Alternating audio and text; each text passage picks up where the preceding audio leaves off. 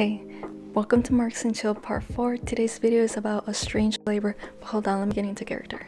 You know? Every great revolutionary seems to have this hat, so I figured I might as well just get mine. And this is of course part 4 of the economic and philosophic manuscripts of 1844. If you're behind or if this is the first time on my channel, make sure you check out my playlist for Marx and Chill so you're all caught up.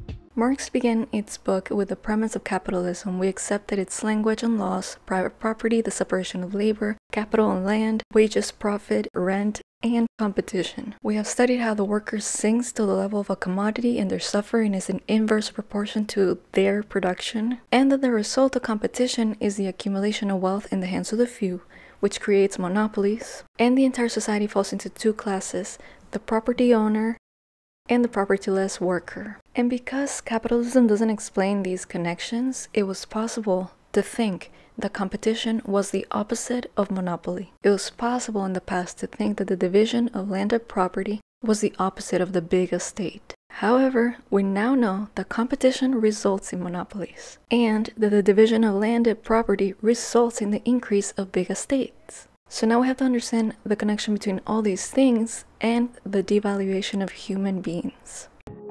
The worker becomes more poor the more wealth they produce. The worker becomes an even cheaper commodity the more products they create. The devaluation of the world of people is in direct proportion to the increasing value of the world of things. Labor doesn't only produce commodities, it produces itself and the worker as a commodity. The object which labor produces is a power independent from the work. It is something alien. The product is labor which has become material. It is the objectification of labor. The more objects the worker produces, the less that he can possess. The consequences are that the worker's relationship to the product of their labor is one of alienation. And based on this idea, the more the worker spends, the more powerful the world of alien objects becomes, a world that they create against themselves.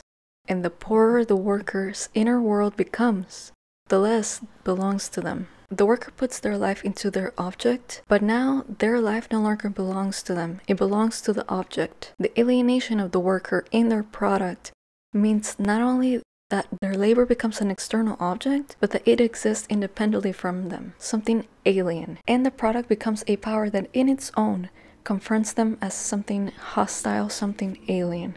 Let's take a closer look at the objectification, the production of the worker, and in that, the estrangement and the loss of the product. First of all, the worker can create nothing without nature, since it's the raw materials for their work. But as nature provides labor with the means of life, meaning materials, it also provides the physical subsistence for the worker. However, the more that the worker appropriates the external world through their labor, the more that they deprive themselves of the means of life. First, the more and more the worker ceases to work with nature, and second, more and more nature ceases to be the means for the worker's physical subsistence. And I took that to mean like number one, the less and less that we're working with nature literally, we less and less of us work the soil, for example, but also like less and less of us live within the trees next to a river, obtaining water from the river. Especially in our day and age, everything's like prepackaged. In both respects, the worker becomes a servant to their product. They receive an object of labor,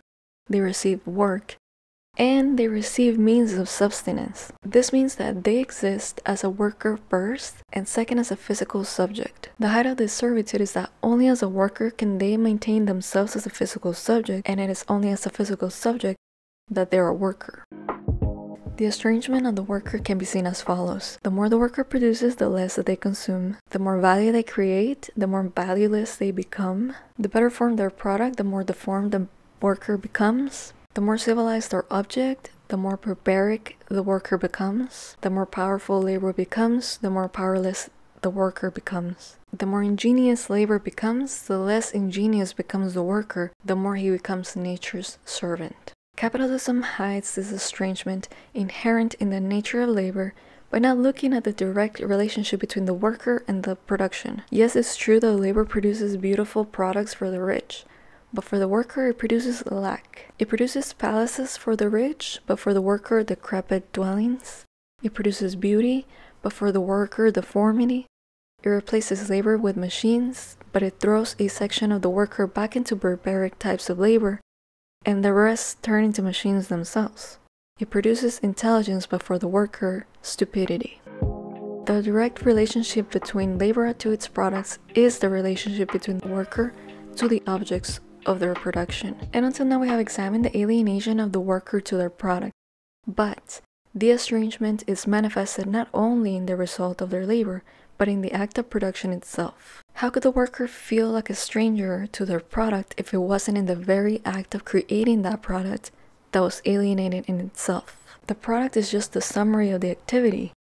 If the product of labor is alienation, Production itself is the activity of alienation. So, what creates the alienation of labor? First, the fact that labor is external to the worker, it is not a part of their intrinsic nature. Therefore, we don't affirm ourselves in work, but deny ourselves through work. We feel unhappy and we do not freely develop physical and mental energy for work. We force our body and our mind. We feel at home when we are not working, and when we work, we do not feel at home. Our labor, therefore, is not voluntary, but coerced. It is forced labor. It is not the satisfaction of a need, but the means to satisfy external needs. Lastly, the fact that the labor does not belong to us, but to somebody else. As a result, we lose ourselves, we belong to another person. As a result, the worker only feels like themselves, freely active in his animal functions eating, drinking, having sex, or at most in his home or in dressing up. And in their human functions, they no longer feel themselves to be anything but an animal. What is animal becomes human, what is human becomes animal. Now, of course, eating, drinking, having sex are genuinely human functions. But when we separate them from all other human activity and they are used as a means to an end, they become animal functions. So now I have considered two aspects of estrangement through labor. First, the relationship between worker and their product, and second, the relation between labor to the act of producing itself. And we have a third aspect of estranged labor. Let's for a moment consider that humans are a species and like animals we exist with nature. Physically, humans rely on nature for food, heating, clothes, home, so they can kind of begin to see nature as part of their inorganic body. But in estranging from human nature and themselves their active functions, their life activity, estranged labor alienates the species from the human. It changes for them the life of the species into a means for an individual life. First, it alienates the life of the species and individual life, and secondly, it makes the individual life in its abstract form the purpose of the life for the species. Labor, life activity, and productive life itself appears to be to the worker as a means to satisfy a need the need to maintain physical existence. But the productive life is the life of the human species, so life itself appears to be only as a means to life. However, animals are one with their life activity. They don't distinguish themselves from it. It is their life activity. Humans, however, make their life activity the object of their will and consciousness. Their conscious life activity separates them from animal life activity. Their own life is an object to them, and because of that, their activity is free activity. But estranged labor reverses that relationship so that because humans are conscious beings, they make their life activity a means to their existence. In creating a world of objects, humans prove themselves as a conscious species, of course. But while animals also produce, they produce only what is immediately necessary for themselves and their young, while humans, on the other hand, produce even when they're free from physical need. Animals only produce themselves, while humans produce the entirety of nature. An animal's product belongs to their physical body, while humans confront their product. Animals produce only in accordance in their needs to their species, humans produce in accordance and needs to all the species and all of nature. They produce everything that they know how to create. And finally, humans also form objects in accordance to the laws of beauty. It is only in their work that humans prove themselves to be a species. Nature appears as their work and their reality. The object of labor is therefore the objectification of the human species' life. Humans duplicate themselves not only intellectually but in reality. They see themselves in the world that they have created. Therefore, estranged labor tears from them their life as a species, their objectivity as a member of the species, and transforms their advantage over animals into the disadvantage that nature is taking from them. Similarly, in degrading spontaneous free activity to a means, estranged labor makes their human species a means to their existence. It alienates humans from their body, nature, and their spirituality, their human aspect. An immediate consequence of the fact that humans are estranged from the product of their labor, life activity, and from the human species is the alienation from human to human. What applies to the worker's relation to their work also applies to their relation to other humans and their labor, since humans view each other in accordance with the relationship with which they view themselves as workers. Now let's see how the concept of estranged labor must express and present itself in real life. If the product of labor is alien to me, it appears as an alien power and to whom does it belong? The labor belongs to a being other than myself, to the one that benefits from the labor. And this other person is the master of the products. And if humans treat their labor as if performed under coercion, than it's labor performed under the service of another person. Thus, private property is the product and the necessary consequence of alienated labor. Private property appears to be the reason for alienated labor, but it is actually the consequence. It is the means by which labor alienates itself. This sheds light on a few unsolved conflicts. First, capitalism starts from labor as the real soul of production, yet capitalism gives nothing to labor and everything to private property. We also understand that wages and private property are identical. The product pays for the labor itself, but wage is a necessary consequence of the labor's estrangement. Likewise, in the wage of labor, labor appears as the servant to wage, and forced increased wages would only be nothing but better payment for the slave, and it wouldn't bring neither the worker nor labor human status or dignity. Even equality in wages only transformed the relationship of the worker to their labor into the relationship of all humans to labor. Society is then seen as an abstract capitalist. Wages are a consequence of estranged labor, and estranged labor is a direct cause of private property. The downfall of one must involve the downfall of the other. And second, from the relationship of estranged labor to private property, it follows that the emancipation of society from private property, from servitude, is expressed in the emancipation of the workers. The emancipation of the workers contains universal human emancipation because it is the entire human servitude that is involved in the relation of the worker to production, and all relations of servitude are just variations of that relation.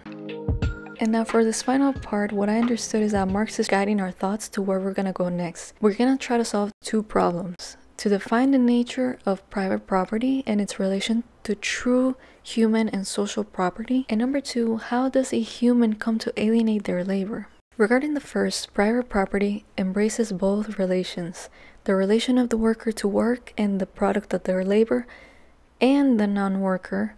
And then for the second relation, the relation of the non-worker to the worker and the product of their labor. In relation to the worker who appreciates nature through their labor, this appropriation appears as estrangement. Their spontaneous activity appears as activity for another and as sacrifice of their life. Production of the object as loss of the object to an alien power. And we shall now consider the relation to the worker to labor and its object to this person who is alien to labor and the worker. First, everything which appears in the worker as activity of alienation appears in the non-worker as a state of alienation. Second, the worker's real practical attitude in production and to the product appears in the non-worker who confronting him as a theoretical attitude. Thus, the non-worker does everything against the worker which the worker does against themselves, but they do not do against themselves what they do against the worker. And if you're confused with that, so am I. And don't worry because we will look at these relations more closely in the future.